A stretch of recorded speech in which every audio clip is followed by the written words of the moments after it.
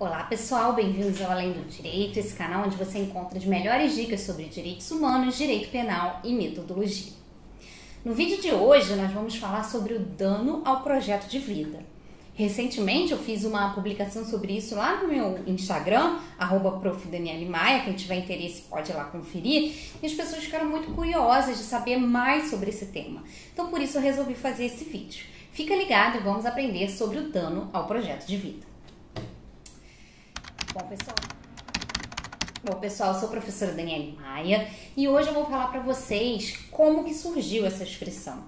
O dano ao projeto de vida foi originalmente veiculado pela Corte Interamericana de Direitos Humanos, pela primeira vez no caso Loiasa Tamayo é, contra o Peru. Mas antes de falar dos casos concretos pelos quais eu vou me utilizar para explicar para vocês o que isso significa, vamos a umas breves notas introdutórias. O dano ao projeto de vida não é um dano moral, nem um dano material, nem um lucro cessante. O dano ao projeto de vida vai além disso. Primeiro que a corte costuma conferir esse dano para pessoas que sofreram violações, mas que ainda permanecem vivas. Então não seria um dano a ser conferido por pessoas que vieram a óbito depois das violações. A ideia é que com a violação de direitos humanos ocorrida no caso concreto, a pessoa tenha tido uma repercussão drástica na sua vida no sentido de mudança de rumo.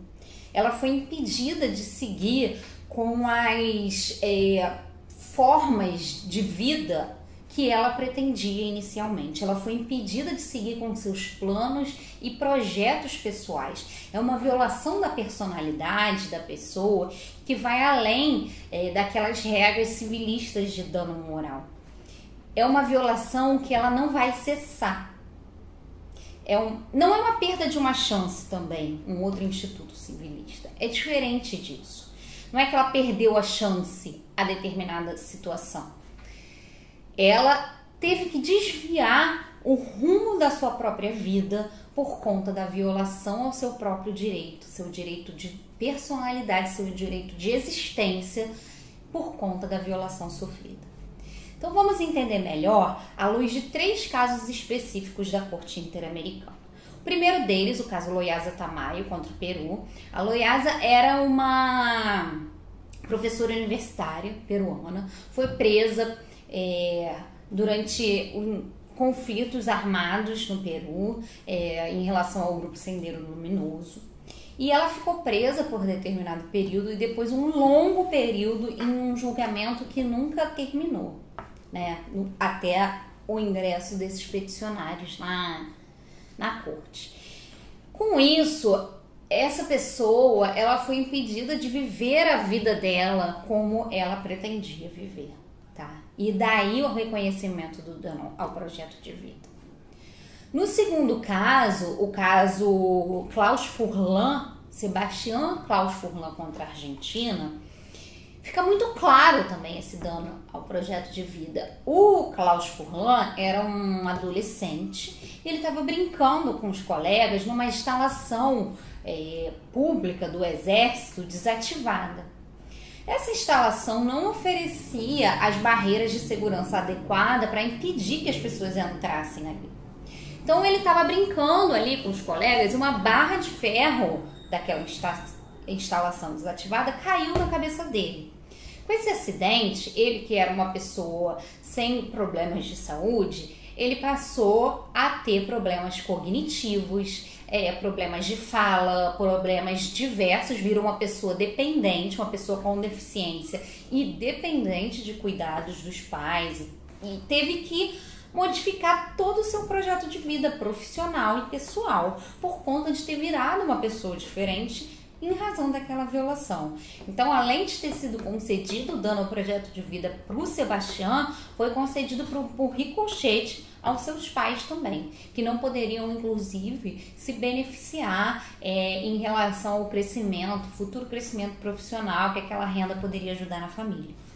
E um último caso, para vocês entenderem, é o caso Atalarrifo contra o Chile. É, a Atalarrifo é uma mulher homossexual E ela foi impedida pela Suprema Corte do Chile de ter a guarda dos filhos por conta de viver uma união estável com outra mulher. Então, quando esse caso chegou na corte, a corte reconheceu um dano ao projeto de vida, porque a Talmarie foi impedida por anos de conviver com os seus filhos por conta dessa situação, essa proibição da Suprema Corte chilena dela ter a guarda das crianças. E esse tempo que ela ficou sem a guarda, ele não tem como voltar. E toda uma vida foi modificada por conta disso. Então aí foi reconhecido o dano ao projeto de vida. Professor, e no Brasil? A gente já teve esse reconhecimento? Já, vou pegar até um número para vocês. O RESP 118 3378, relatoria do Luiz Felipe Salomão, o ministro, ele afirmou quando ele julgou as uniões estáveis homoafetivas que o não reconhecimento dessas uniões estáveis poderia gerar um dano ao projeto de vida. E no mesmo sentido foi o STF na ADIM, na ADIM 4277, no qual o caso Loiasa Tamayo foi expressamente citado e foi reconhecido que se a gente não é, legitimasse as uniões estáveis homoafetivas à luz da Constituição, a gente estaria causando um dano ao projeto de vida dessas pessoas. Espero que vocês tenham conseguido entender esse conceito que se difere do dano moral, do dano material, da perda de uma chance e tenham gostado desse vídeo. E se for assim, curte, comenta e compartilha ele com seus amigos.